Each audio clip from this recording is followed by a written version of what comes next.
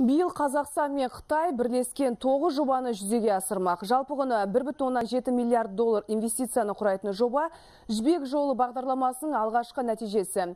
Бұл екі бағдарламаның еліміз үшін берері мол дейді экономистер. Тіптен кәрі құрлық пен Азия арасындағы сауда айналымын арттыру мақсатында банк құрылған.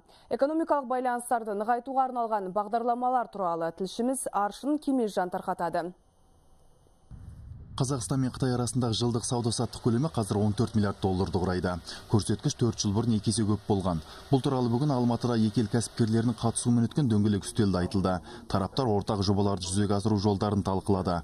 Басты мақсат Қазақстан мен Қытай арасындағы жылдық сауда-саттық айналымы көлемін 40 миллиард долларға жеткізу с китайской стороны қытай елінің үкіметі мен жергілікті кәсіпкерлер қазақстанға үлкен қызығушылық танытып отыр. Сонымен қатар сіздердің де елдеріңіз инвестиция салуға мүмкіндігі зор. Сондықтан екі елге пайдалы салаларды қаржыландырған дұрыс деп есептеймін. Басқосуда экономистер мен кәсіпкерлер қазақстанның географиялық жағдайын ұтымды пайдалану керектігін айтты. Жібек жолы бағдарламасы арқылы шығыс пен батысты байланыстырып нұрлы жол бағдарламасы аясында ауқымды инвестициялық жобаларды іске асыруға болады.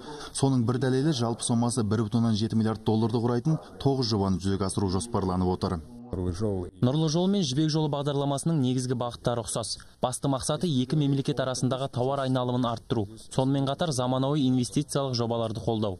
Кәсіпкерлердің айтуынша қазақстан экономикасын өркендету үшін ең алдымен ауыл шаруашылығын шағын және орта кәсіпті дамытып қаза байлықтардан дайын өнім алатын зауыттар санын көбейту.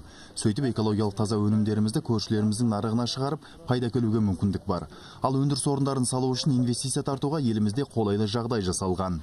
Аршын кемелжан әбен нарымбаев хабар 24 алматы.